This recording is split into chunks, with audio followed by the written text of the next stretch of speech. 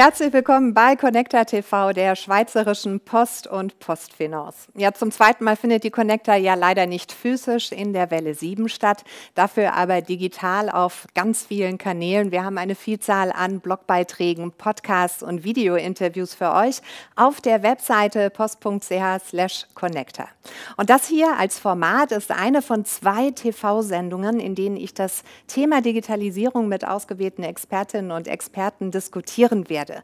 Mein Name ist Katrin Cecil Ziegler, ich bin Digitalökonomin und Journalistin und heute geht es um das Thema Banking und Fintech. Und wir steigen hier auch gleich mit einer sehr, sehr spannenden Frage ein, nämlich wie wirkt sich die Digitalisierung eigentlich auf die Wirtschaftskriminalität aus? Geld bestand lange Zeit aus Banknoten und Münzen. Wer kriminelle Energie hatte, musste dieses Geld physisch unter die Leute bringen. Doch der klassische Bankräuber ist Vergangenheit. Wer heute Geld auf kriminelle Art abzweigen will, bricht keine Safes mehr auf, sondern braucht Zugang zu Datenströmen. Wirtschaftskriminalität ist das große Stichwort. Der Skandal um die börsenkotierte Firma Wirecard hat hohe Wellen geschlagen. Kriminelle Machenschaften im Innern der Firma rissen Wirecard schließlich in den Konkurs. Aber auch Attacken von außen kommen immer häufiger vor. Die Firma Comparis ist nur ein Beispiel einer Firma, die Geld an Erpresser zahlte, die von außen ins System eingedrungen waren. Cyberattacken werden immer häufiger und sind eine Gefahr für Firmen, Infrastruktur und unsere ganze Gesellschaft. Und genau über dieses Thema spreche ich nun mit meinen Gästen. Und zwar Claudia Valerie Brunner, Rechtsanwältin und Leiterin des Themenbereichs Wirtschaftskriminalistik an der Hochschule Luzern und Adrian Wiesmann, bei Postfinance zuständig für die IT-Sicherheit. Schön, dass ihr beide heute da seid. Claudia, wir haben es ja im Beitrag gehört, Cyberattacken sind an der Tagesordnung. Die Zahlen sind auch noch mal gestiegen, auch während der Pandemie. Gibt es denn da einen Zusammenhang zwischen der Pandemie und solchen Angriffen? Wenn ja, welchen? Es ist natürlich so, dass die Unternehmen nicht unbedingt darauf vorbereitet waren, so viele Personen ins Homeoffice zu schicken. Ähm, sie haben vielleicht nicht die notwendige Informationen halt erhalten, wie sie damit umgehen sollen. Ähm, das ist das eine Problem. Das andere Problem ist, dass die Infrastruktur nicht bereit war. Das heißt, ähm, die ganze IT-Sicherheit wurde nicht so organisiert, dass diese Angriffe verhindert werden können. Und das hat mit Sicherheit dazu beigetragen, dass diese Zahl nochmals angestiegen ist, ähm, seit wir diese Pandemie haben. Mhm.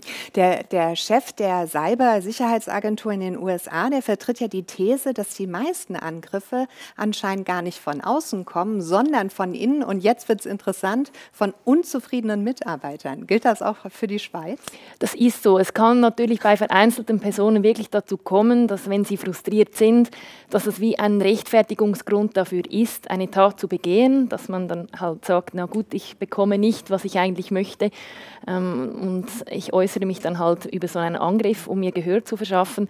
Aber das ist nicht die große Zahl der Fälle, die wir mhm. hier in der Schweiz haben. Da muss man sich als Mitarbeiter ja schon auch gut auskennen können, auch wenn man frustriert ist, dass man dann weiß, wie man so einen Angriff macht.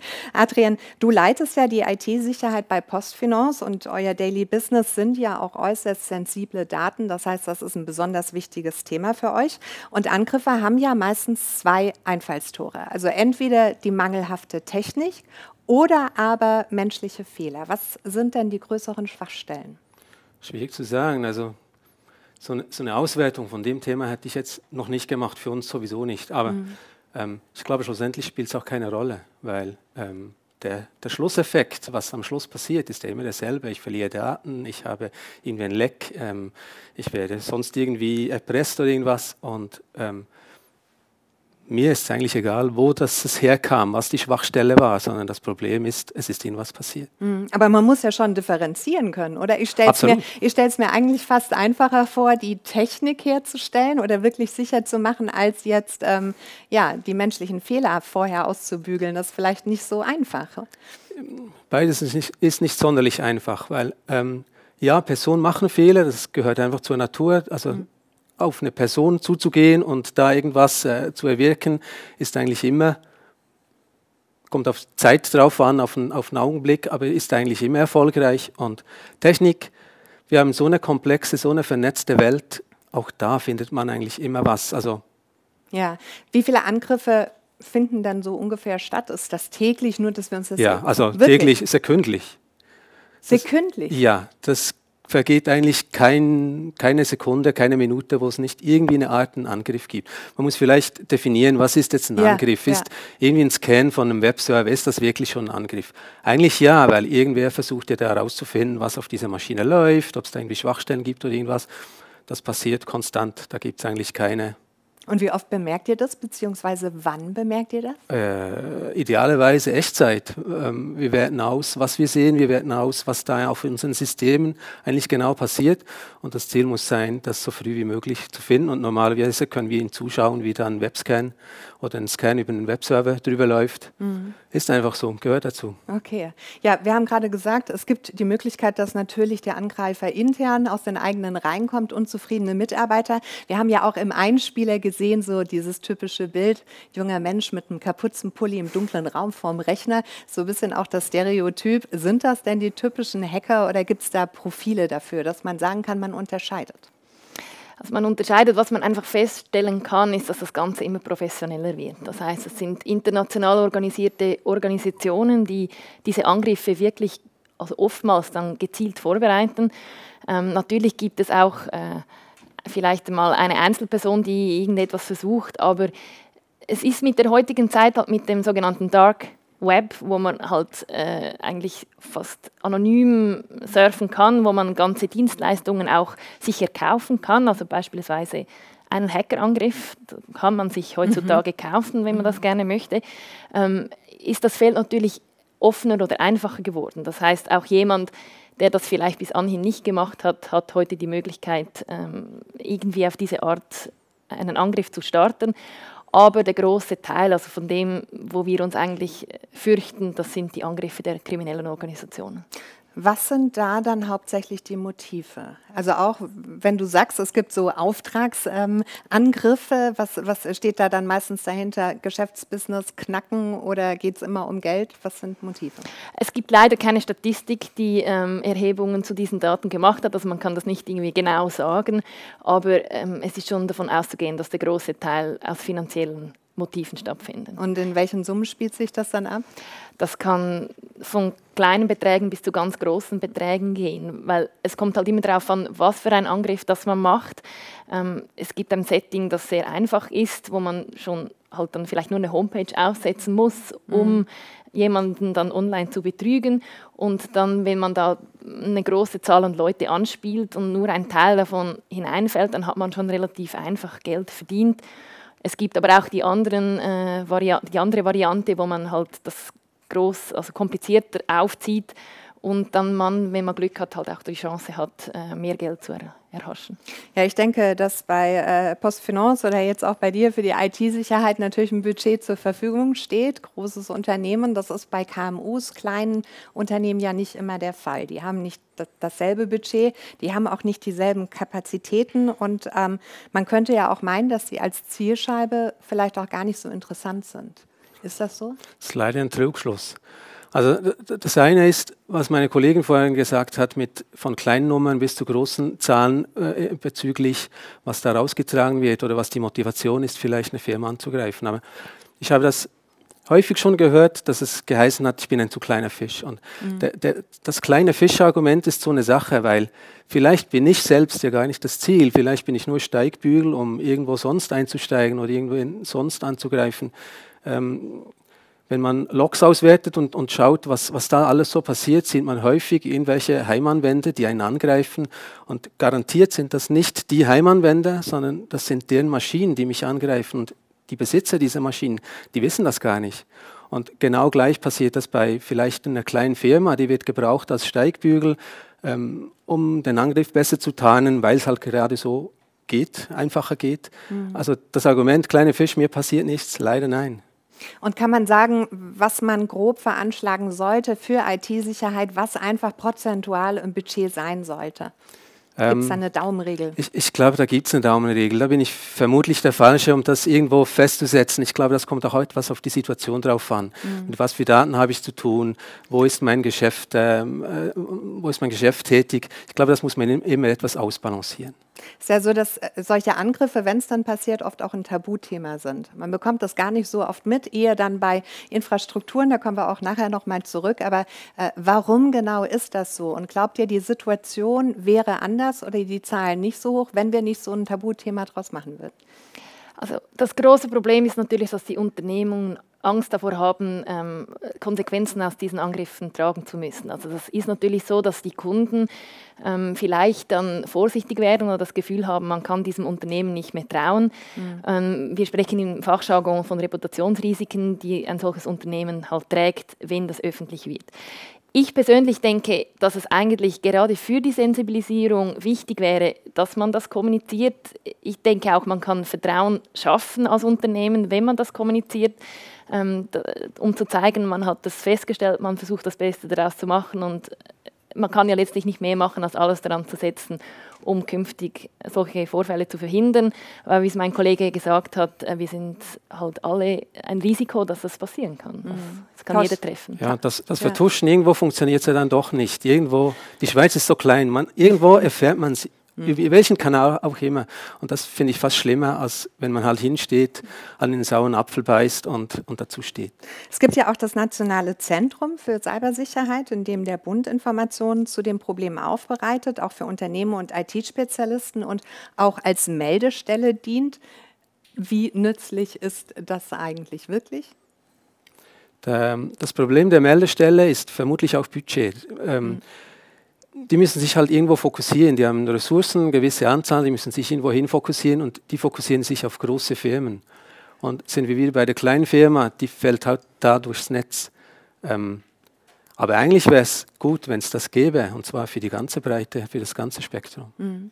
Also es wird auch von der, ähm, es gibt noch eine weitere Seite von der Schweizerischen Kriminalprävention und die, die auch diese Informationen aufbereitet, immer die neuesten Versionen eigentlich versucht abzudaten, die Personen zu sensibilisieren, auf was man sich achten muss, um nicht Opfer eines Angriffs zu werden. Ähm, das Problem ist halt, da sind wir wieder ein bisschen beim Beginn der Diskussion. Oder? Der Mensch ist immer eine Schwachstelle, allgemein, wenn es um Wirtschaftskriminalität geht. Und man kann halt nicht viel mehr machen, als einfach die Personen zu sensibilisieren, bei Unternehmungen die Mitarbeiter zu schulen, damit alle versuchen, am gleichen Strick zu ziehen. Wir haben es im Einspieler eben auch gehört, dass immer öfter jetzt auch Angriffe auf Infrastrukturen stattfinden. Ähm, kritische Infrastrukturen, auch abgekürzt Kritis, das sind äh, Spitäler, Energielieferanten, Wasserwerke, Transportunternehmen und da verdoppeln sich die Angriffe jedes Jahr jetzt auch mit ähm, exponentieller Tendenz. Und Anfang des Jahres gab es ja einen Skandal in Florida, da wurde in letzter Minute ein Angriff auf die Wasserversorgung vereitelt. Ähm, dort wurde nämlich die Zufuhr von Natriumhydroxid in der Software verändert, was natürlich lebensgefährlich gefährlich gewesen wäre, wenn das nicht ein Mitarbeiter zufällig, wirklich zufällig beobachtet hätte. Sind solche Bedrohungen auch hier in der Schweiz nur noch eine Frage der Zeit? Ja, es ist natürlich so, dass wenn man ähm, solche Unternehmungen bedroht, dass man dann viel größere Druckmittel hat, als wenn man gegen eine Einzelunternehmung geht, wo dann halt lediglich diese Personen dieses Unternehmens betroffen sind. Wenn wir jetzt einen Angriff beispielsweise auf ein Spital starten, dann haben wir nicht nur die Bedrohung des Unternehmens, ja. sondern darüber hinaus die Bedrohung dieser Patienten, die sogar lebensbedrohlich dann sein können. Und das zwingt natürlich dann die Unternehmungen auch schneller zu entscheiden und man erhöht den Druck und damit auch aus Sicht der Täter natürlich die Möglichkeit oder die Chance, erfolgreich zu sein. Gibt es denn da schon Szenarien für die Schweiz? Also dann braucht man ja einen Plan B. Ja, also es ist natürlich zentral, dass einerseits äh, die IT-Sicherheit halt wirklich hochgeschrieben wird und dass man auch ähm, vom Business Continuity Management aus einen Plan hat und weiß, äh, wenn man irgend so etwas feststellt, wie, wie geht es weiter. Was wünscht ihr denn euch, was in, bei dem Bereich oder in dem Thema mehr angegangen wird? Du jetzt vielleicht im Bereich der Unternehmen und auch vielleicht für kleinere Unternehmen nochmal als Tipp, wo sollten sie wirklich anfangen oder mehr den Fokus darauf legen? Und bei dir auch in puncto Sensibilisierung, wie könnten wir da anders auch vorangehen, damit wir hier ein anderes Bewusstsein schaffen? Also wenn ich Sensibilisierung vielleicht gleich aufnehmen dürfte. Ja. Ähm, der Punkt ist wirklich, was auch du vorhin gesagt hast, mit der Mensch. Ähm, irgendwann passiert irgendwas. Das ist rein eine Frage der Zeit und ob es jetzt etwas Großes oder etwas Kleines ist, ist eigentlich bedingt relevant. Irgendwann passiert was, weil es der richtige Zeitpunkt, der richtige Ort war. Und eigentlich muss ich dann vorbereitet sein. Ich muss wissen, was genau ist passiert, warum ist es passiert, was bedeutet das für mich, was bedeutet das für mein Geschäft. Und um auf die, die, die eigentliche Frage mit dem kleinen Geschäft äh, zurückzukommen, auch ich als kleines Geschäft muss wissen, was sind denn meine Dinge, die Wert haben für mich? Auf was bin ich angewiesen? Mit was kann ich noch Geschäft machen? Mit was nicht mehr? Also wenn was wegfällt, wie, wie, wie schlimm ist das für mich? Und ich glaube, die Vorbereitung, also einerseits die Sensibilisierung, was kann passieren und die Vorbereitung, was mache ich dann? Ich glaube, das ist wirklich sehr, sehr wichtig, dass man das in, in der Friedenszeit heißt das immer so schön. Also wenn, wenn ich Ruhe habe, wenn ich mir das mal überlegen kann in aller Ruhe, dass ich das dann mache. Mhm. Ja, und von Seiten Schulung ist natürlich wichtig, dass das ein Thema ist. Es ist häufig noch so, wie mein Kollege schon gesagt hat, dass man sagt, ja, nein, mich betrifft das nicht, das sind mhm. nur die anderen. Und wenn natürlich im Unternehmen das Management das Thema schon nicht als eigentliche Bedrohung wahrnimmt, dann wird es auch keine Schulungen geben der Mitarbeiter, die dann äh, vielleicht halt so ein Einfallstor darstellen können für so einen Angriff. Also ich denke, es ist einerseits natürlich wichtig, dass man sich das Know-how aneignet, bei einer Hochschule, äh, wie wir das an der Hochschule Luzern machen, aber auch natürlich dann das Wissen im Unternehmen selbst an, an die Person weitergegeben wird. Und zwar in regelmäßigen Updates immer wieder, weil sich doch immer wieder die, die Täter sind immer schneller, so muss ich sagen. Die, die entwickeln sich schneller weiter, als wir das machen und sie sind somit auch schneller wieder dabei, ähm, irgendein neues Tummelfeld zu finden, wo man vielleicht dann nicht gefasst ist darauf. Ja, ich, äh, also bei mir war es so, ich hatte auch einen Angriff privat gehabt dieses Jahr. Also bei E-Mails, wenn ich da was bekomme, komische Links, Zusendungen, da bin ich schon sensibilisiert. Ich glaube auch, ich erkenne das gleich, wenn das eine Fälschung ist. Aber tatsächlich hatte mich meine eigene Bank angerufen und gesagt, Sie haben da ganz seltsame Abbuchungen von Ihrer Kreditkarte. Schauen Sie da mal bitte nach. Habe ich nachgeschaut, tatsächlich, äh, die waren nicht von mir. Das heißt, meine Kreditkarte wurde irgendwie gehackt. Weder die Bank konnte mir erklären, wie das gemacht gemacht worden ist, noch habe ich eine Ahnung, wie sowas passiert. Ist das denn auch die Zukunft, dass wir das gar nicht mehr so richtig zurückverfolgen können, dass sie wirklich so weit voraus sind, dass wir eigentlich nicht hinterherkommen? Ja, eigentlich ja. Das, das mit dem nicht mehr rauskriegen, wo eigentlich der, der, das, das Klonen der, der Kreditkarte oder das Abziehen der Kreditkarteninformation passiert ist, ja, absolut, weil ähm, ich habe es irgendwo gebraucht, es wurde nicht sofort für irgendwelchen äh, Betrug eingesetzt. Schwierig, das schlussendlich herauszufinden. Aber ähm, auch das ist eigentlich nur bedingt relevant. Ich muss es schlussendlich herausfinden. Also das Ziel muss sein, dass wenn eben sowas passiert, dass dann die Bank anruft und sagt, mhm. wir haben festgestellt, das passt nicht in Ihr Muster, es passt nicht zu Ihrem normalen Verhalten, schauen Sie doch bitte mal nach. Und das ist eigentlich der Schlüssel, dass dann schlussendlich irgendwann eben, also irgendwann, möglichst rasch natürlich, aber festzustellen und da entsprechend darauf zu reagieren. Passiert es euch noch, dass ihr auf irgendwas reinfällt? also mir ist es auch passiert, noch gar nicht vor allzu langer Zeit. Es war ein Angriff, also lustigerweise mit der Post. Ähm, also ich habe dort, ich habe einen Umzug gemacht und habe äh, eigentlich äh, war im Stress, wie das so schön ist, und habe die E-Mail gekriegt, habe die so zwischen ähm, Stuhl und Bank gelesen und habe draufgeklickt. In dem Moment, wo ich draufgeklickt habe, habe ich selber gedacht, ach. Gott, ähm, das war nicht okay, okay, ich weiß es jetzt, ich habe es gemerkt. Und ich denke, das ist auch eine wichtige Message. Es kann uns alle treffen. Man muss aber wissen, was man in diesem Moment machen muss. Und mhm. noch viel wichtiger ist, dass eben diese ganze IT-Sicherheit Vorkehrungen getroffen wurden, weil ich konnte dann einfach, ich musste den Computer und alles neu aufsetzen, aber ich hatte ja alles gesichert, alles vorhanden, war also kein, in dem Sinn kein großes Problem. Wenn man das aber nicht hat, dann kann das dann schon äh, einem treffen. Vielleicht dann zum Abschluss noch genau so eine erste Hilfemaßnahme. Was mache ich denn, wenn ich es merke? Einmal jetzt ich als Person, aber eben auch im Unternehmen was sollte als allererstes getan werden, wenn man merkt, da stimmt was nicht? Einmal durch tief atmen.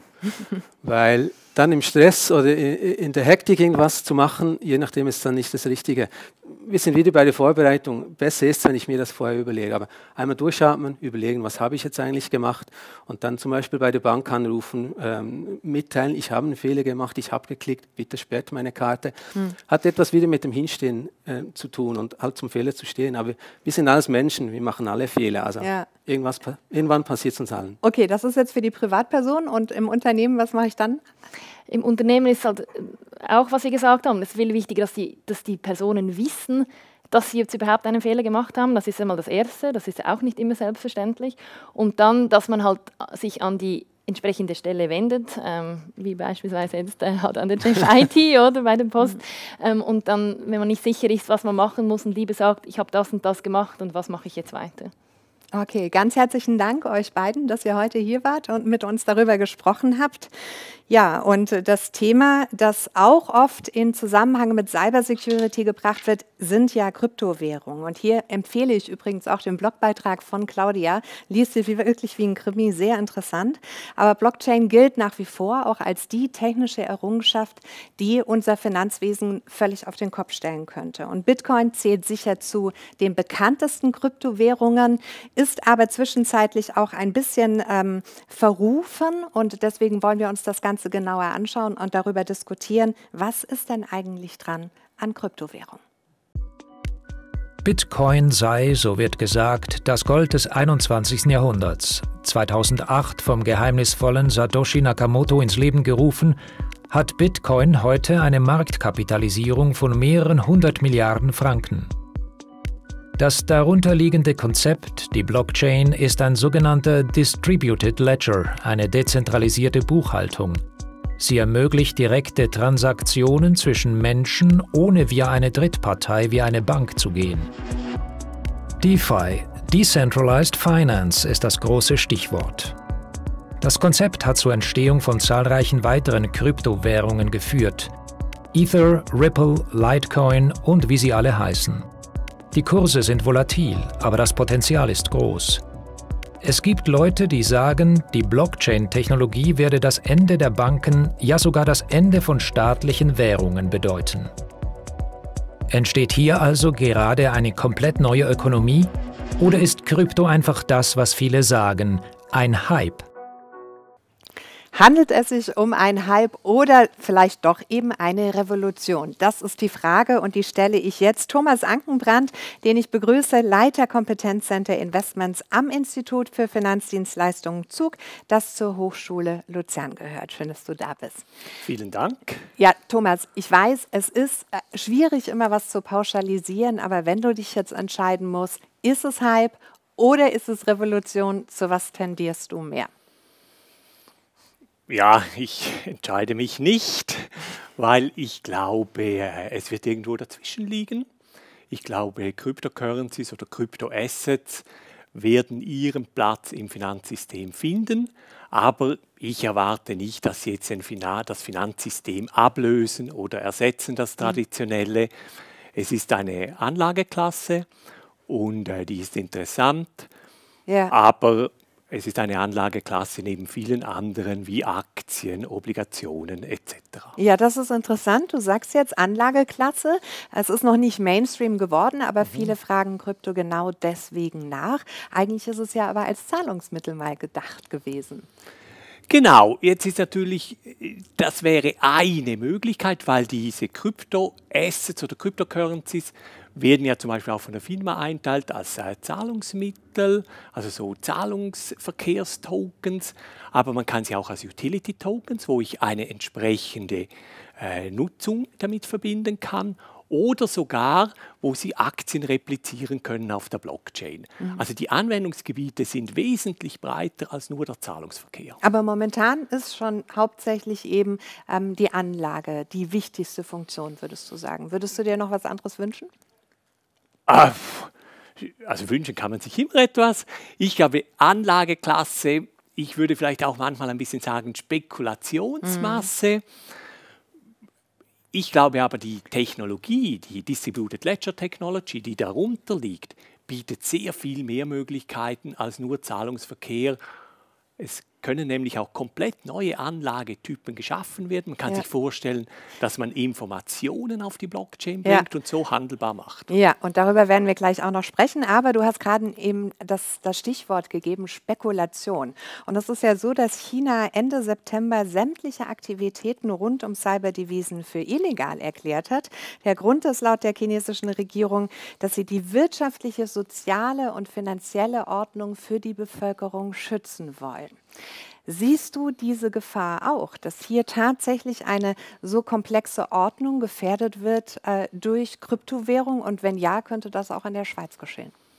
In der Schweiz glaube ich nicht, dass das geschehen kann, weil die Ausgangslagen von China, Amerika und der Schweiz auf der anderen Seite sind komplett unterschiedlich. Aber China hat sicher ein sehr viel größeres Systemproblem, weil es sehr viel mehr Leute sind. Die Schweiz ist eher klein.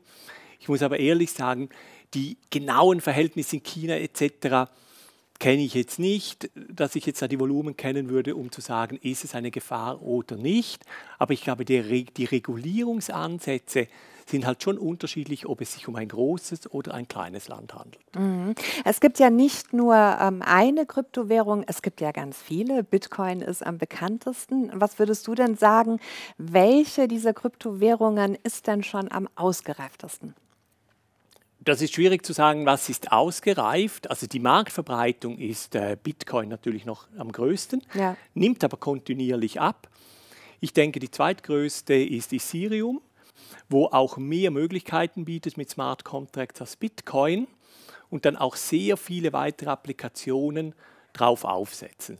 Aber auch hier, glaube ich, sind wir wirklich am Anfang der, des Weges und wir werden noch sehr viel weitere, Entschuldigung, weitere äh, Blockchain sehen, Distributed Ledger Technologien, die auch das Problem, wo Bitcoin zum Beispiel hat mit dem Energiekonsum, wo man diese lösen wird. Mhm. Jetzt ist es ja noch nichts, was in der Schule gelehrt wird, ja, und nicht jeder hat auch eine Ausbildung gemacht zum Banker oder in der Finanzwirtschaft. Das heißt, ähm, viele müssen sich dieses Wissen ja auch selbst aneignen.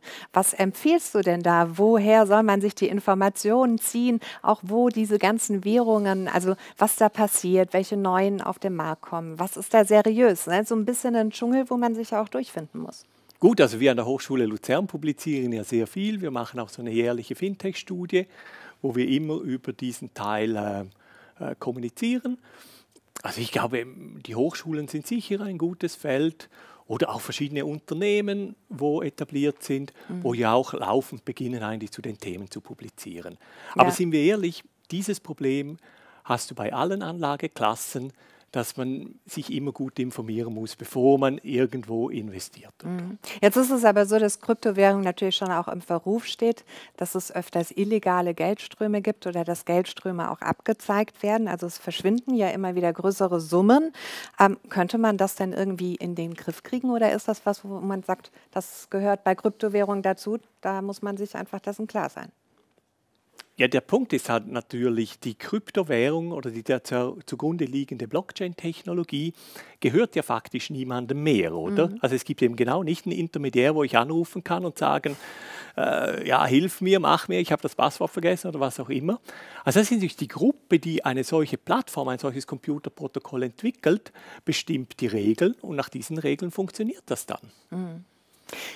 China war ja auch Hauptstandort gewesen für Kryptomeinung und hat das vor wenigen Wochen ebenso verboten, anscheinend wegen des hohen Energieverbrauchs. Und das ist ja auch was, was bei uns viel diskutiert wird, dass das nicht ökologisch sei und auch nicht nachhaltig. Mining verschlingt heute schon mehr Energie als viele Großstädte.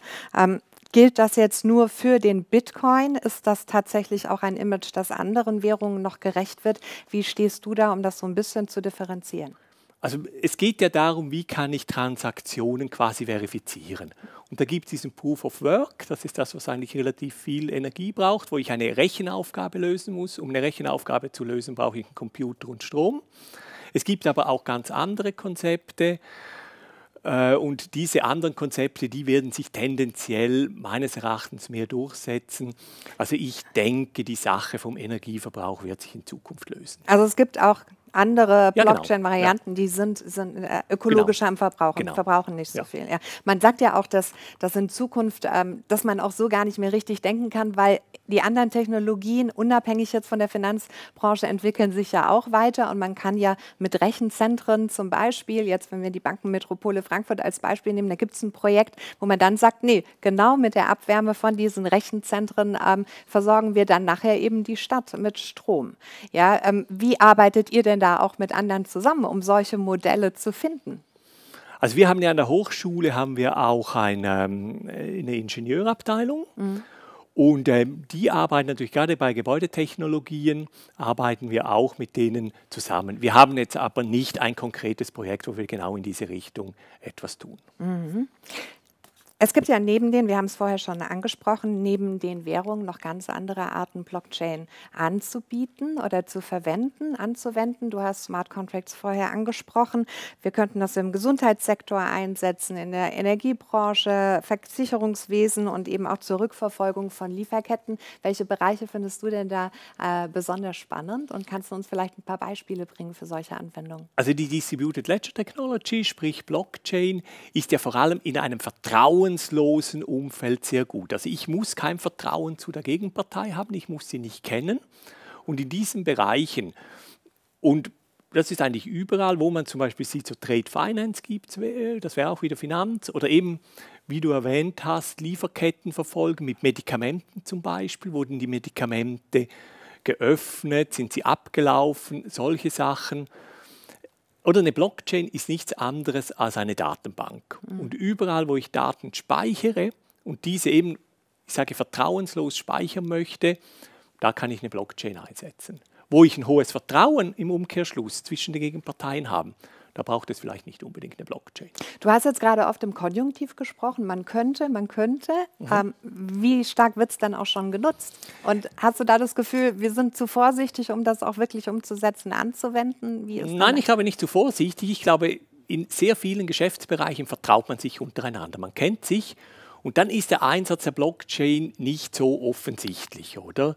Weil die Entwicklung einer Blockchain-Lösung ist vielleicht ein bisschen umfangreicher als die Entwicklung auf einer traditionellen Datenbank. Und ich glaube, das, es besteht dann wie nicht der absolute Need, das zu tun, oder? Mhm. Diese Währung oder Blockchain allgemein bietet natürlich auch ein neues Potenzial für Geschäftsmodelle, Innovationen, auch das mhm. voranzutreiben. Und Zug hat ja mit dem Crypto Valley versucht, da Rahmenbedingungen für Firmen zu schaffen, die im Bereich Blockchain tätig sind. Der Bund hat ebenfalls verschiedene Initiativen geschafft.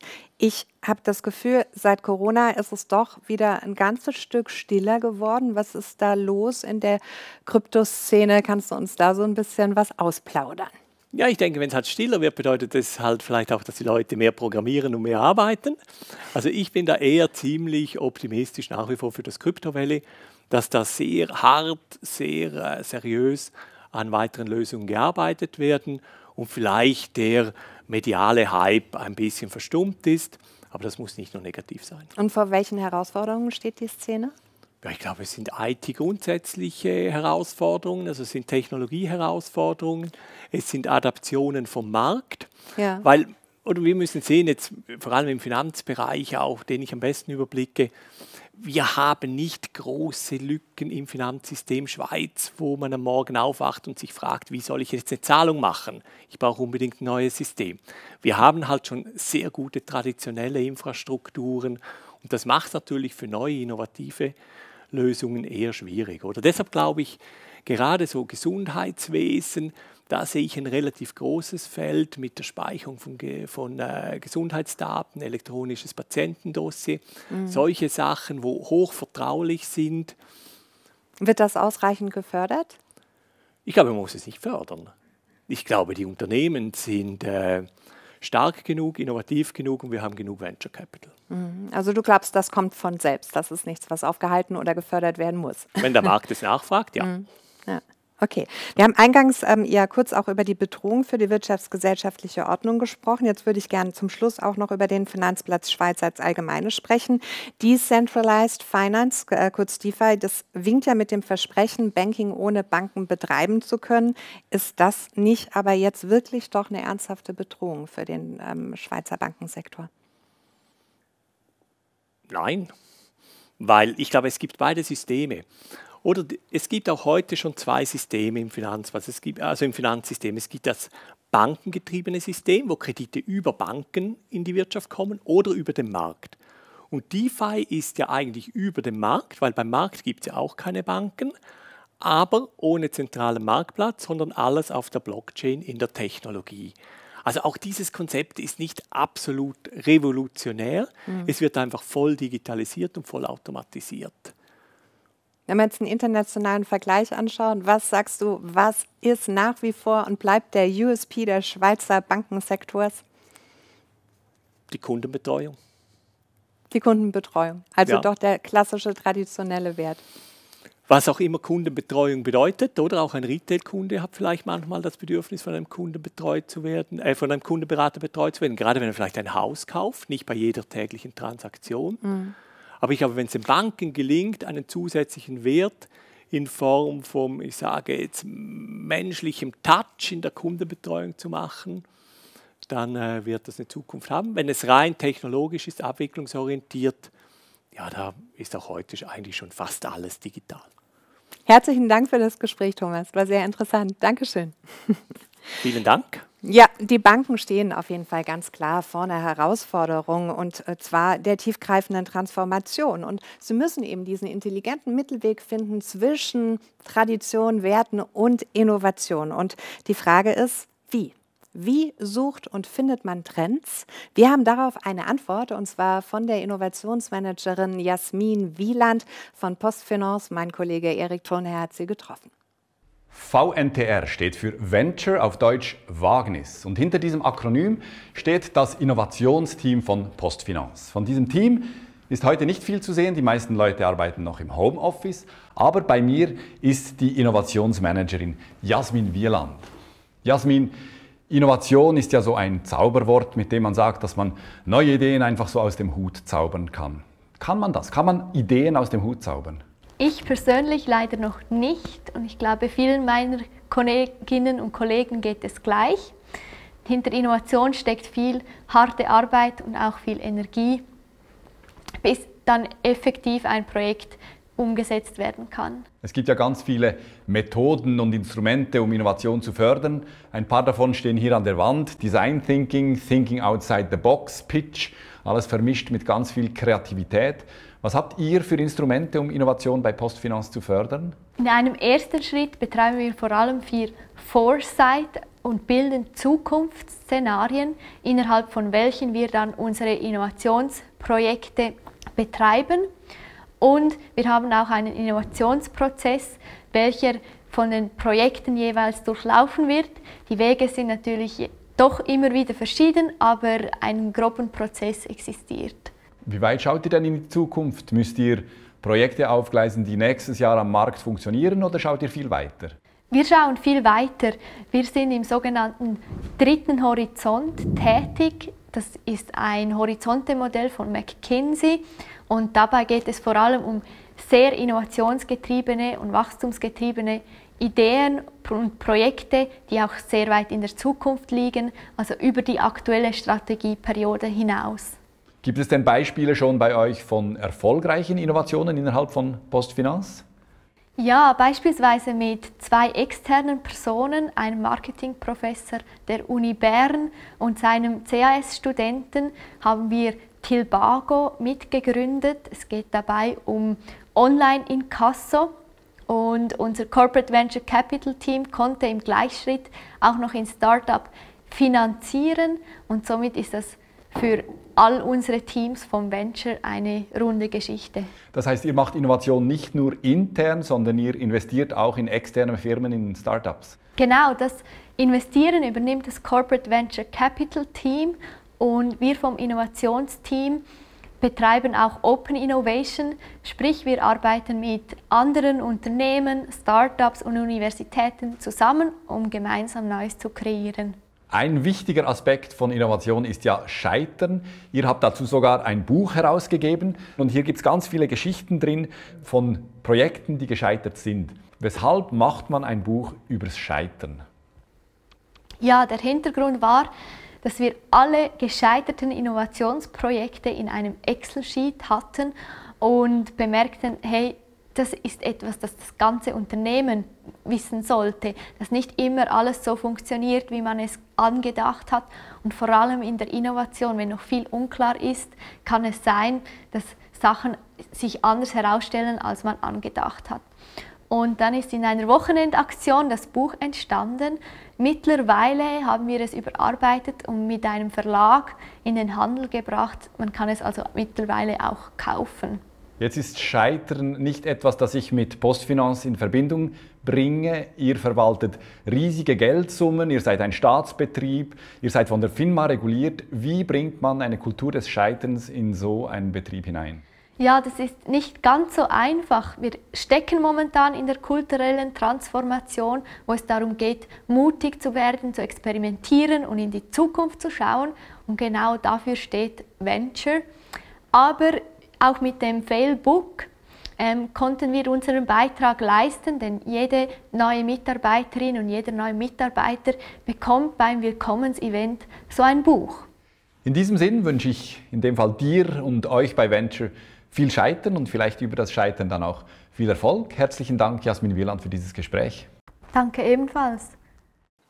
Vielen Dank an Jasmin und Erik. Ja, das Buch über Scheitern heißt Failbook. Das haben wir hier. Das gibt es ab sofort im Handel. Aber das gibt es eben auch von uns, denn wir verlosen fünf Exemplare. Also sende dazu bitte eine E-Mail mit dem Betreff Failbook an die eingeblendete Mailadresse, die eigene Postadresse nicht vergessen. Ein Sendeschluss ist der 30. Oktober. Ja, wir haben gerade gehört, Scheitern kann auch ein Weg zur Innovation sein. Vielleicht gehört es sogar zusammen.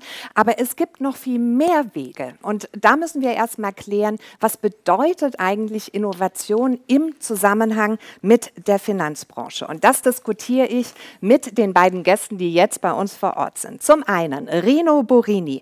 Er ist Experte für Fintech und außerdem Gründer des House of Satoshi, einem Lokal in Zürich, das Wissen im Bereich von Kryptowährungen vermitteln will. Und außerdem Markus Schwab, CEO von You, einer Neobank, die von Postfinance und Swissquote gegründet wurde. Schön, dass ihr da seid.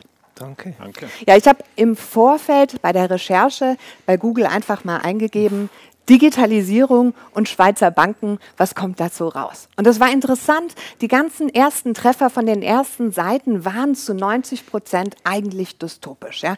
Da stand, Schweizer Banken rennt die Zeit davon. Die sind nur noch Mittelmaß. Die verschlafen Innovationen. Die können nicht mithalten. Jetzt ist natürlich die Frage, woran liegt das? Ja? Passt das konservative, seriöse, traditionelle Image einfach grundsätzlich gar nicht mit Innovation zusammen? Geht das gar nicht miteinander. Was sagst du, Markus? Ja, ich glaube, es, wie du richtig gesagt hast, es sind die Bedürfnisse der heutigen und vor allem der zukünftigen Generation, die sie an das Banking haben. Und die sind nicht mehr dieselben, wie das vor fünf, vor zehn oder vor 20 Jahren der Fall war. Und um hier mal ein paar Beispiele zu nennen, oder ich bin fest davon überzeugt, dass heute das Produkt auch zum Lifestyle, zur Person passen muss. Es man muss mitmachen können, in der Community integriert sein. Also man will auch, dass man sich äußern kann zu diesem Produkt. Dann ganz wichtig, oder alles muss instant sein heute. Also wenn ich was mache, dann muss es eigentlich sofort wieder verfügbar sein. Und die Banken, die haben vielfach noch traditionelle Prozesse. Da dauert es mehrere Tage, bis was passiert. Und das erwarten die heutige und die zukünftige Generation garantiert nicht mehr. Weiter gibt es auch noch das Thema Transparenz. Gerade bei den Preisen. Heute ist das vielfach völlig intransparent wie die Preise zustande kommen oder was ich für etwas bezahle. Und die heutigen Kunden, die erwarten, dass alles transparent vorhanden ist. Man will gleich sehen, wenn man was macht, was bezahlt man dafür.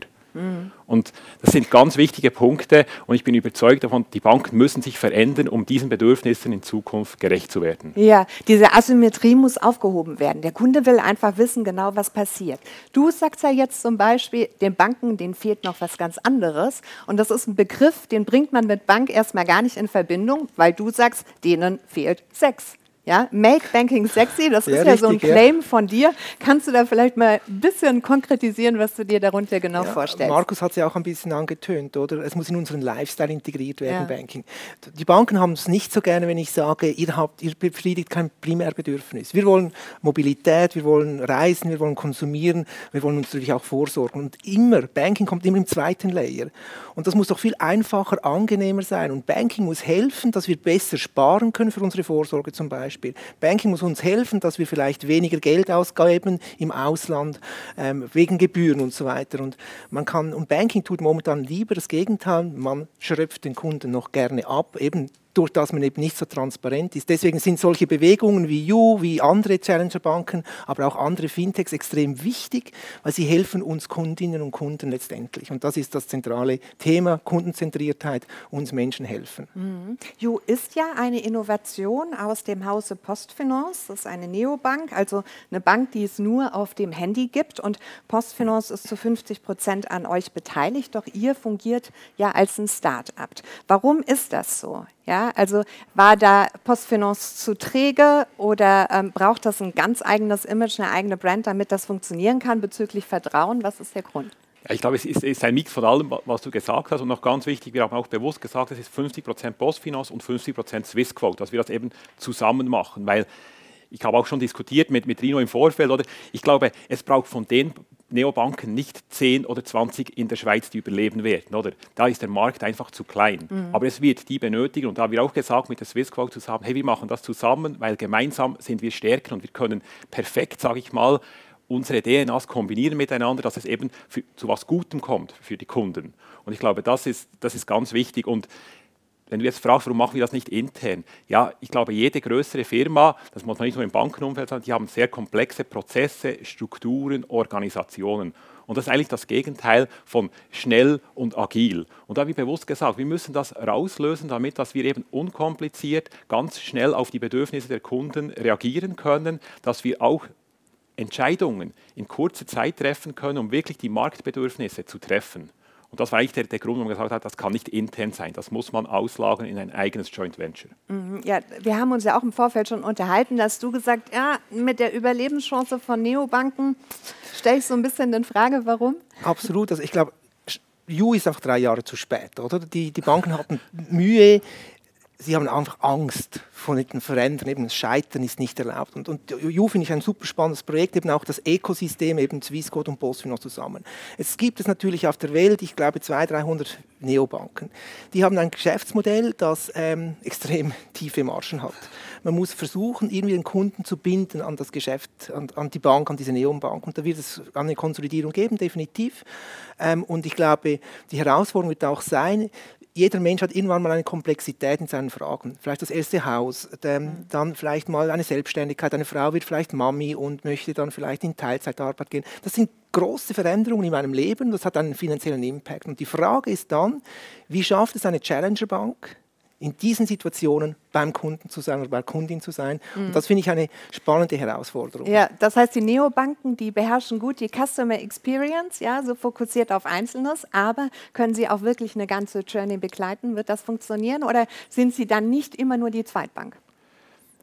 Ich bin überzeugt, dass das die Neobanken oder die Challenger-Banken können werden in Zukunft, weil ich vielleicht noch ein anderes Argument bringe. Und Rino hat es angetönt, oder? Mhm. Er hat gesagt, die Margen werden immer wie tiefer. Und gleichzeitig sind die Kosten bei traditionellen Banken viel zu hoch um überhaupt in Zukunft, sage ich mal, Erträge generieren zu können oder beziehungsweise Gewinn generieren zu können. Erträge generiert man schon, aber wenn die Margen zurückgehen, werden die mhm. Erträge sinken und solange die Kosten hoch sind, weil ich eben alte Legacy habe oder weil ich einen großen Ab Organisationsapparat habe, solange wird es immer wie schwieriger werden, für die Gewinne zu erzielen. Und darum auch da sehe ich große Vorteile bei Challenger-Banken, die wirklich von Grund auf auf die Bedürfnisse der Kunden zugehen und die etwas Neues aufbauen, was eben genau den Bedürfnissen der Kundinnen und Kunden der Zukunft entspricht. Mhm. Kannst du vielleicht so ein bisschen noch konkretisieren, was ist denn der Kunde der Zukunft?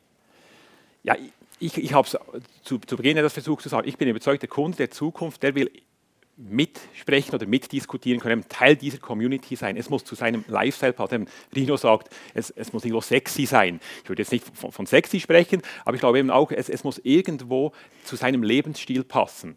Es muss eben transparent sein. Es muss alles instant sein. Es sollte auch individualisierbar sein in einem gewissen Maß. Ich will das sehen oder das nutzen, was ich benötige und nicht irgendwie überflüssiges Zeug, was was ich gar nicht benutzen will, mhm. sondern ich will wählen können, ich brauche das oder ich habe dieses Bedürfnis und dann ziehe ich mir das raus und habe hierfür die passende Lösung. Und ich glaube, ganz wichtig auch, es muss wirklich friktionslos, durchgehend digital sein. Auch da haben wir heute große Probleme oder viele Unternehmen. Oder da beginnt man etwas online und plötzlich erhält man doch noch per Post, dass man ein Formular unterschreiben muss. Mhm. Oder dann ruft einem noch jemand an und sagt, ich habe doch noch eine Frage. Das sind nicht die Erwartungen, die die zukünftigen Kunden haben. Ja, dann nickst du. Ja, absolut. Oder diese Scheindigitalisierung. Vorne wow, wow, wow und fancy, bla, bla, bla. Und hinten kommt Papier raus. Und was mhm. viele unterschätzen, ist auch das Offboarding. Wenn ich mal weg von einem Service will, das muss auch eine super Experience sein. Weil das Schlimmste ist, wenn du nachher weggehst, du willst weg aus einem Service raus und das ist extrem ein komplexer Prozess, ähm, dann gibt es eine ein Bad Image oder ein Bad Vibe für das Unternehmen, weil der Kunde oder die Kundin könnte ja vielleicht wieder zurückkommen. Und ich glaube, das haben viele unterschätzt. Auch das Offboarding ist extrem wichtig. Und ich glaube, da müssen die Banken generell, ähm, auch Fintechs, by the way, noch viel mehr daran arbeiten. End-to-End -End geht in beide Richtungen, oder? Ihr richtet euch ja auch eine ganz junge Generation, versucht euch da auch ein bisschen von der Konkurrenz abzuheben. Bei euch kann man mit Kryptoassets handeln. Wir haben jetzt in den vorigen Talks auch schon über die Gefahren von Kryptowährungen gesprochen. Also sind Kryptowährungen wirklich das, äh, mit denen jungen Menschen als erstes eine Bankbeziehung eingehen sollten? Gut, ich glaube, auch hier, wir sind ja nicht nur Kryptowährung. Ich würde uns nicht reduzieren. Wir haben bewusst gesagt, wir haben das 3 in 1 Prinzip, also zahlen, sparen, investieren. Und bei investieren kann man auch in ETFs, in Aktien, in Themen und eben auch in Kryptos investieren. Aber auch hier ist es so, das ist halt das, was diese Kunden verlangen, was das Bedürfnis der Kunden ist. Und wenn wir es nicht abdecken, dann deckt es irgendein anderer ab und dann gehen sie halt dorthin. Also mhm. bieten wir das auch an und wir sagen, ja, klar und deutlich, oder? jeder ist selber für seine Finanzen verantwortlich. Wir wollen ihm nur das Instrument in die Hand geben, wo das eben möglichst einfach entsprechend seinen Bedürfnissen funktioniert. Wer wie viel dann wo investiert, das überlassen wir allen selber. Okay, aber man braucht ja eine gewisse Kenntnis ja. darüber. Das ist ja genau dein Gebiet, die Wissensvermittlung mhm. ähm, zu Krypto. Wie schätzt du derzeit da die Literacy ein? Also wie sind die Kompetenzen und die Kenntnisse? Die sind eben nicht da. Und ich, ich finde ich find den Ansatz gut, dass man solche Möglichkeiten hat. Und ich sehe, ich habe schon lange gedacht, warum machen die Banken das nicht? Da kann man Geld verdienen, das man kann ein Kundenbedürfnis abdecken. Aber irgendwo hat man denn doch noch eine Verantwortung, dass man zumindest ihnen die Möglichkeit gibt, den Nutzern sich irgendwie zu weiterzuentwickeln. Weil viele sehen dann in den Medien, oh, Bitcoin wieder 80 Prozent gestiegen oder äh, Währung Solana in diesem Jahr 7600 oder wie viel Prozent auch immer. Und da gehen die Leute rein und denken, kaufe ich. Und was sie unterschätzen, ist, dass eben auch mal runtergeht. 2018 ging der Bitcoin-Kurs um 80 Prozent zurück. Ja. Und das müssen die Leute verstehen. Und ich glaube, da muss die Industrie nicht nur einfach sagen, wir stellen dir ein Instrument zur Verfügung. Das Instrument soll eben auch heißen Education, Financial Literacy. Ich finde, das gehört dazu, dass auch eine Industrie, also die Finanzindustrie, Industrie an dem arbeitet. Das muss nicht, da kann man ja auch in Kooperation machen.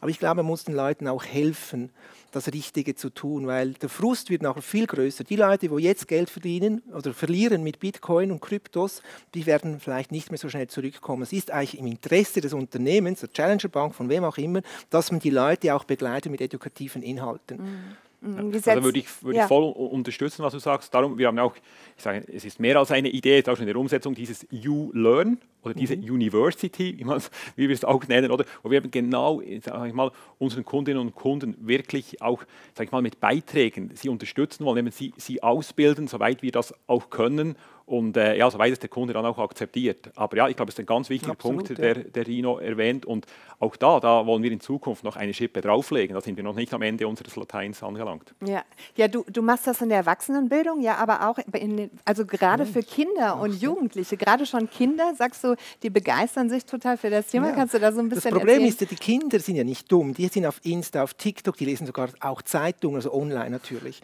Und, und die gehen nach, nachher zu Hause, ihre Mutter, ihre Mutter, ihren Vater Vater fragte, was ist Bitcoin? Und da kamen Eltern auf mich zu und sagen, hey, mein Kind, zwischen 9 bis 14 hatten wir dabei, ähm, die fragen mich und wir können denen keine Antwort geben. Wie peinlich ist das? By the way, viele Banker können die Fragen auch nicht beantworten. ai, ai, ai, ai. Gut, und dann haben wir gesagt, okay, jetzt machen wir ein Modul. Bitcoin for Kids, ähm, drei Stunden an einem Mittwochnachmittag. Die sind drei Stunden bei uns im Haus auf Satoshi gesessen. Wir haben auf einfache Art das Thema Geld, das Thema Sparen und dann das Thema Krypto, Bitcoin, am Beispiel Bitcoin ge gezeigt. Das war für mich, ich stehe ja viel auf Bühnen, das spannendste Format ever, weil es waren die extrem interessante Fragen, extrem ehrlich, keine Überheblichkeit, extrem viel Neugier. Und das Schönste war beim Wrap-up, beim Fazit, habe ich dann gefragt, so, was habt ihr mitgenommen? Und ein Mädchen hat dann gesagt, ja, wichtig ist, dass man, wenn man Kryptos kauft, nicht sein Spargeld, für das man vielleicht sein Fahrrad kaufen möchte, investiert, sondern das Geld, das man nicht braucht. Mhm. Voilà. Mhm. Oder die Kinder sind eben eigentlich, die mussten ihnen helfen zu sparen, weil wir hatten, wir hatten noch Sparkontos mit 3%, 5%, Sparbüchlein. Das haben die nicht mehr im Nullzinsumfeld. Ja, ja. Aber dieser Hype um Krypto ermöglicht halt so den Einstieg und Zugang quasi ja. in die Finanzwelt. Und apropos Zugang, da würde ich dann jetzt gerne mal auf das Thema Open Banking zu sprechen mhm. kommen. Ja? Weil es geht ja auch darum, dass man ja nicht nur seine digitalen Prozesse, äh, die Prozesse digitalisiert, vielleicht auch Kryptowährungen anbietet, sondern dass man insgesamt auch völlig neue Geschäftsmodelle findet.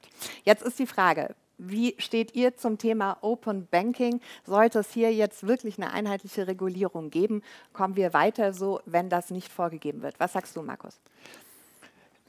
Ist, ist eine ganz schwierige Frage für mich, um, um die zu beantworten, um ehrlich zu sein. Oder ich, ich glaube, dass die Zukunft in Richtung Open Banking gehen wird.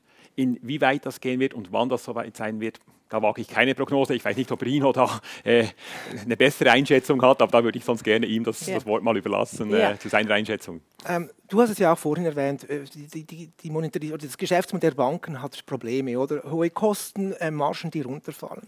Ähm, wir reden von Banking, muss in den Lifestyle integriert werden, Embedded Finance. Und das geht nur mit Open Banking. Mhm. Und ähm, die ganze Welt macht es vor. Die Schweiz sagt, ja, wir wollen auch. Sie tun es einfach in einem Schneckentempo, das unglaublich ist. Man hat ja mal zeitlang acht Initiativen gehabt in einem Land. Ähm, und sie sehen eher eine Gefahr statt eine riesen Heraus äh, Riesenchance. Ich sehe extrem viele Chancen für jedes Bankinstitut. Ja. Ähm, wenn man sich öffnet, letztendlich sind das meine Daten, die die Bank hat. Und bis jetzt können sie noch nicht datenbasiert gute Produkte anbieten. Und ich möchte entscheiden, was mit meinen Daten passiert.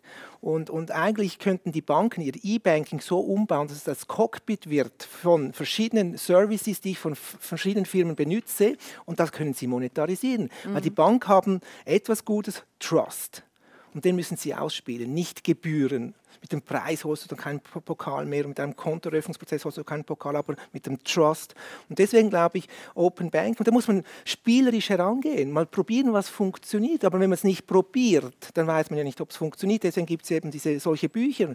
Man muss probieren, man muss mutig sein und mal aufhören, das als Gefahr zu sehen, sondern als eine Riesenchance.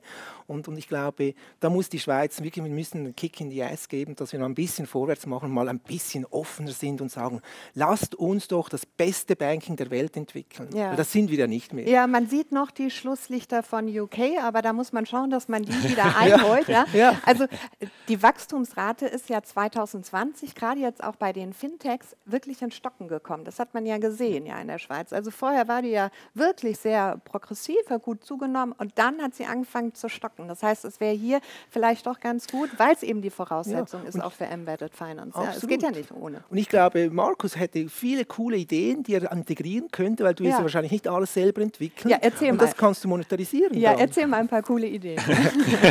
ja, absolut. Also ich glaube, auch wir haben immer gesagt, wir wollen die Banking-Grundlagen, ich sage bei uns ist es jetzt Zahlen, Sparen, investieren, die wollen wir selber anbieten. Aber dann geht es ja darüber hinaus. Oder dann gibt es mhm. vielleicht neue coole Dinge, die man anbieten kann. Das kann im Banking-Umfeld sein, das kann aber auch in ganz anderen Industrien sein, zum Beispiel Versicherungen oder ja. mit Mobilfunk anbieten oder, oder, was auch immer oder mit Tickets, die man kaufen kann. Mhm. Und, und, ich glaube, genau hier, da, da, bin ich bei, bei, Rino, oder ich glaube, da muss die Schweiz jetzt wirklich investieren und einen Schritt vorwärts machen. Und er hat vorhin ganz am Anfang was Interessantes gesagt, eigentlich kommt You drei Jahre zu spät. Unterschreibe, ja. ich, unterschreibe ich okay. voll und ganz, oder? Äh, nichts dagegen. Nur genau da kommt der andere Punkt, den ich auch erwähnt habe. Das gibt Strukturen, Prozesse äh, in Unternehmen oder gerade in größeren Unternehmen. Und das braucht Zeit, bis so eine Idee dann irgendwo auch durchkommt, bis man dann den Mut hat, eben zu sagen, und hier investieren wir jetzt. Oder weil man investiert ja nicht irgendwie ein paar hundert Franken Mhm. in so ein Joint Venture, sondern das sind große Beträge, die dahinter stecken. Und ich glaube, das braucht Mut und da sind wir im Moment noch zu langsam in der Schweiz, weil eben, wenn wir vor drei Jahren mit Juge kommen, ja, ich bin überzeugt, wir wären heute schon eine Success Story. Absolut, da bin ich mhm. voll dabei. Und da sieht man auch das Problem, was in der Schweizer Bankenlandschaft herrscht. Das Mindset, Digitalisierung, das ist gar nicht so kompliziert, das, das ist nicht schwierig. Da haben wir alle Spezialisten. Die Schweiz ja. meine, hat ja Google hier und alles. Mhm. Ähm, oder solche Markus da, wo, wo mit vielen Ideen versuchen, ein cooles Produkt aufzubauen. Wir haben das Know-how, alles in der Schweiz. Aber wenn oben das Mindset fällt, weil man falsche Anreize hat, weil man auf Jahresende denkt, ja, so entsteht keine Innovation. Ich bin auch nicht der Meinung, dass man Innovationslabs braucht. Mhm. Es muss eine Kultur von Innovieren entstehen. Ja, man braucht vielleicht auch eine Vision. auf die man hinarbeiten kann. Wie würde deine aussehen, wenn du sagst, ich habe eine Vision für, die Schweizer, ähm, für den Schweizer Finanzsektor ich, und in welchem Jahr spielt deine Vision? Also ich sage immer, ähm, wir spielen ja nicht der wir spielen in der Champions League leider unten. Ich schaue lieber die Finalspiele an der Champions League. Und unser, unser Anspruch muss sein, wir sind, wir sind in den Top 3 Banknationen der Welt und zwar nicht nur im Wealth Management, das ist ja auch hinten viel Papier, ähm, sondern wir machen das Banking für den Kunden und für die Kundin, für ihren Lifestyle und wir helfen letztendlich dem Mensch, dass er zu mehr Geld kommt, beziehungsweise mehr Geld am Ende des Monats auf dem Konto hat. Ähm, und das müsste man bis 2030 umgesetzt haben und da sein. Ich glaube aber, wenn man jetzt nicht langsam Gas gibt, und das sage ich jetzt seit sieben Jahren bald, mhm. ähm, kommen wir nicht vorwärts. Mhm. Ja. Wie sieht deine Vision aus? Ich würde, ich würde die teilen, weil wir sagen auch bei uns, bei You oder wir wollen den, den Leuten helfen, dass sie ihre Finanzen selbstständig und, sag ich mal, 7 mal 24, egal wo sie sind, wirklich managen können. Oder?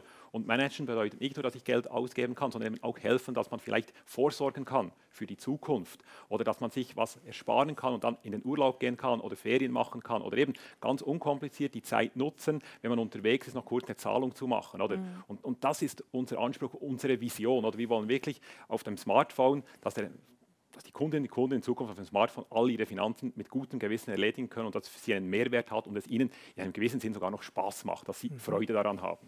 Make Banking sexy. Make Banking sexy. Absolut. okay, herzlichen Dank euch. Das war sehr interessant, hat mir Spaß gemacht. Danke, dass ihr hier wart. Und auch herzlichen Dank an alle unseren anderen Gäste, die mit uns in der Sendung heute waren, mit denen ich mich unterhalten durfte. Für mich war das alles sehr spannend. Wir haben heute gesprochen über Wirtschaftskriminalität, über Cyberangriffe, über Chancen und Risiken ähm, von Blockchain und eben auch über den Ruf nach mehr Sexappeal in der Finanzbranche. Und es gibt natürlich noch viel mehr Aspekte und Diskussionspotenzial rund um dieses Thema. Und deswegen haben wir auch noch mehr Content vorbereitet. Alles steht auf unserer Webseite, Blogbeiträge, Podcasts und Videointerviews und unter anderem eben auch noch eine weitere TV-Sendung, dann aber zum Thema Handel. Ich sage weiterhin viel Erfolg und bedanke mich fürs Zuschauen. Tschüss.